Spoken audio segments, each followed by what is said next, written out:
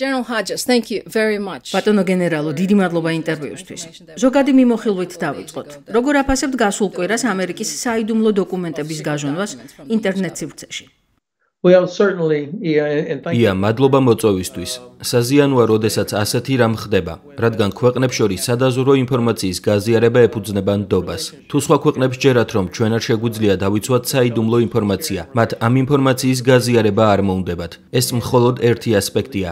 მეორე მხარე კი ისაა, რომ არასდროს გინდა, რომ შენმა მტერმა იცოდეს, თუ რა იცი შენ მის შესახებ. ამ ინფორმაციის მიღების შემდეგ მათ შეუძლიათ გაარკვიონ, თუ საიდან იცი ის, რაც იცი. ეს საზიანოა ამ კუთხით. ამასთან არ მგონია, რომ რაიმე კონკრეტული საბძოლო გეგმები გამჟღავნდა. არ ვფიქრობ, რომ უკრაინის მომავალ კონტრშეტევას ამ ინციდენტმა რაიმე ზიანი მიაყენოს. ასევე არ მგონია რუსები საკმარისად მოქნილები იყვნენ იმისთვის, რომ თუნდაც იმ შემთხვევაში თუ ამ დოკუმენტებში მათთვის რაღაც ღირებული აღმოჩნდა, ამ ინფორმაციის გამოყენება შეძლონ. ამბობთ თუ არა, რომ ეს კონტრდაზვერვის კუთხით უფრო იყო დიდი ჩავარდნა, ვიდრე თავდასხმა ან რაიმე სხვა? ეს საკითხი საინტერესო ფორმულირებაა. როგორ მოხდა ეს? ფიქრობ, მნიშვნელოვანია გამოძიება მალე ჩატარდეს. ზიანი გაიწმინდოს და გამოძიებამ გაარკვიოს, სად იყო პრობლემები და როგორ მოხდა ეს ყველაფერი. თავდაპირველად მედიაში ვრცელდებოდა ინფორმაცია, რომ ეს რუსეთთან დაკავშირებული ოპერაცია იყო.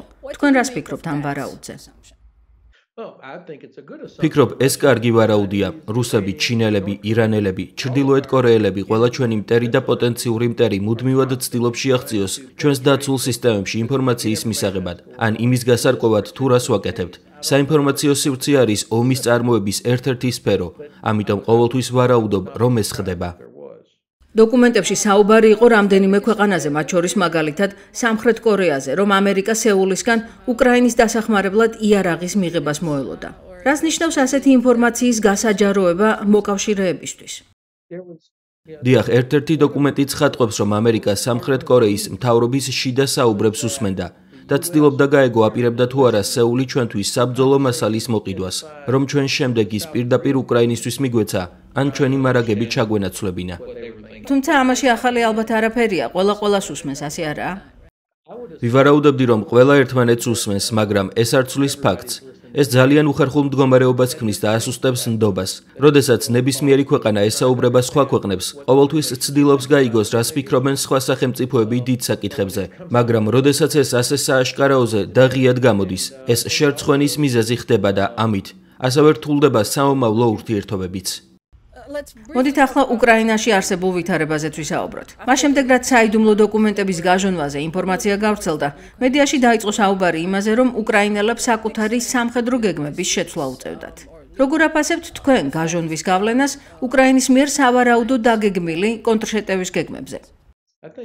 ფიქრობ, უკრაინის გენერალური შტაბი იმდენად პროფესიონალურია, რომ მათ უკვე გაკეთებული ექნებათ შეფასება და დადგენილი ექნებათ ის მოხდება თუ არა ამას რეალური ზიანი. არის თუ არა რაღაც ისეთი რაც მათ გეგმებში ცვლილების შეტანას აიძულებს და თუ არის ამის მიზეზი მათ ეს გამოსავალი უკვე ნაპოვნი ექნებათ მაგრამ ისინი ასევე საკმარისად მოქნილები არიან იმისთვის რომ ეს სიტუაცია საკუთარ უპირატესობად აქციონ ასე რომ არ ვფიქრობ რომ ისინი ამით ისევე იმედგაცრუებულები არიან როგორც ჩვენ რადგან ჩვენ ვართ ის ვისაც აშკარად გამოეკვეთა და უცველობა თუ შეცდომა უკრაინელებზე ეს უარყოფითად არანაირად არ აისახება. ჩემი ყურადღება საჰაერო და სარაკეტო თავდაცვის სისტემებისა და საბძოლო მასალის შესახებ გავრცელებულმა ინფორმაციამ მიიქცია. ყოველთვის ვარაუდობდი რომ მათ არ ჰქონდათ საკმარისი ამუნიცია და უწევთ შეზღუდული რაოდენობით რაკეტების გამოყენება. თუ ეს ინფორმაცია ზუსტია და ამ ეტაპზე ეს არ ვიცით მაშინ ადმინისტრაციამ არამხოლოდ მეტი უნდა მისცეს უკრაინას არამედ უნდა გადავხედოთ მათთვის F-16 ტიპის მოიერიშეების ან სხვა სახის საბძოლო თვითმფრინავების მიწოდებას. ასევე მათ უნდა მიუცეთ ატაკამსები, ცირე დიამეტრის სახმელეთო ბომბები ან სხვადასხვა ტიპის შორი რადიუსის ზუსტი დამიზნების შესაძლებლობები. რუსეთს არ უნდა ჰქონდეს იმის საშუალება, რომ ყირიმის სარაკეტო თავდასხმების ბაზად გამოიყენოს. ამაში შავი ზღვის ფლოტს გულისხმობ. თქვენ იცით, რომ ისინი შედან სევასტოპოლში. გემები შეჰყავთ შავ ზღვაში, საიდანაც უკრაინულ საცხოვრებელ корпуსებს რაკეტებს ესვრიან და შემდეგ ისევ პორტში ბრუნდებიან. რატომ არ ვეხმარებით უკრაინას სევასტოპოლში ბაზირებული შავი ზღვის ფლოტის, ან რუსეთის საჰაერო ძალების განადგურებაში, ან ყირიმიდან გაშვებული დრონების ჩამოგდებაში, განსაკუთრებით თუმცა საჰაერო თავდაცვის შეერაღება არ ყოფნით. რატომ არ ვაძლევთ მათ ამ შესაძლებლობას? იმედი მაქვს, ეს უფრო მეტ ზეწოლას მოახდენს ადმინისტრაციაზე. რა ხდება ბახმუჩი? რუსები ამბობენ, რომ ქალაქის 75%-ს აკონტროლებენ. უკრაინელები კი ამას უარყოფენ. თუმცა პრეზიდენტმა ზელენსკიმ მიანიშნა, რომ თუ ქალაქის დატოვება საჭირო გახდა, ისინი ამ გადაწყვეტილებას მიიღებენ. თქვენ როგორ ხედავთ ბახმუჩი არსებულ სიტუაციას? ფიქრობ, რომ უკრაინის გენერალური შტაბი მართალი იყო. მიუხედავად იმისა, რომ მათ მნიშვნელოვანი დანაკარგები აქვთ სამწუხაროდ დაკარგეს ბევრი ჯარისკაცი, მაგრამ მათ შეძლეს ის, რომ ახალი სატანკო ბრიგადების გამოყენების გარეშე რუსეთი შეაჩერეს.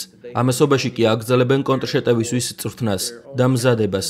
რომელიც ვფიქრობ ამ ზაფხულს იქნება და არა გაზაფხულზე. ეს კონტრიერიში გამოაჩენს იმას, რომ შედეგი იმ ძალიან ძვირადღირებულ დანაკარგებად ღირდა. უკრაინელებმა რუსებს ნებისმიერი გამარჯვების შანსი გაუქრეს. რუსები იქ ძალიან დაზარალდნენ. დაკარგეს დიდი რაოდენობით ცოცხალი ძალა და გამოიყენეს ბევრი საბრძოლო მასალა. რუსეთს მთელი ყურადღება ბახმუძე და ვუგლედარზე აქვს გადატანილი. ამასობაში კი უკრაინა საკუთარი კონტრშეტევისთვის ემზადება. სამხედრო დოქტრინაში ჩვენ ამას ძალის ეკონომიას უწოდებთ. მე ვყოფილ ვარ ძალის ეკონომიის პოზიციაში, როცა არ გაქვს საკმარისი რესურსები, მაგრამ შენგან იგივე ეფექტურობას მოელიან, რადგან პრიორიტეტი სხვაგან არის. ფიქრობ, მათ ეს ძალიან კარგად გააკეთეს. ეს რა თქმა უნდა რთული გადაწყვეტილება იქნებოდა პრეზიდენტისთვის, გენერალ ზალუჟინისთვის და გენერალური შტაბისთვის, მაგრამ ჩემი აზრით მათ სწორი გადაწყვეტილება მიიღეს. ამასთან საქმე ისაა, რომ რუსებს ამისათვისების უნარი არ აქვთ. ბახმუტი რომ წაიღონ, მერე რა, მათ ხომ არ აქვთ მოლოდინის რეჟიმში მყოფი ჯავშან ტექნიკის კოლონები, რომლებიც მზად არიან ხარკივში ან კიევში შევიდნენ. მათ ეს შესაძლებლობა უბრალოდ არ აქვთ.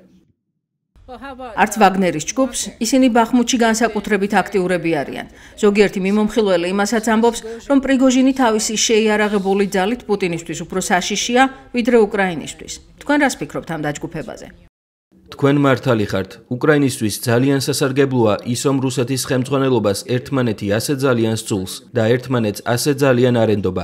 აქ პრიგოჟინს, შოიგუს, გერასიმოვს, კადიროვს და სხვებს გულისხმობ. ამ ადამიანებს ერთმანეთი არ მოსწონთ. შედეგად მათ არ აქვთ ერთიანი სამეთაურო სტრუქტურა. რაც იმას ნიშნავს, რომ არ აქვთ ომის წარმოების ერთიანი გეგმა. ამ ეტაპზე რუსებს არ აქვთ თვალსაჩინო გეგმა იმისა, თუ როგორ შეინარჩუნებენ აქამდე დაკავებულ ტერიტორიებს.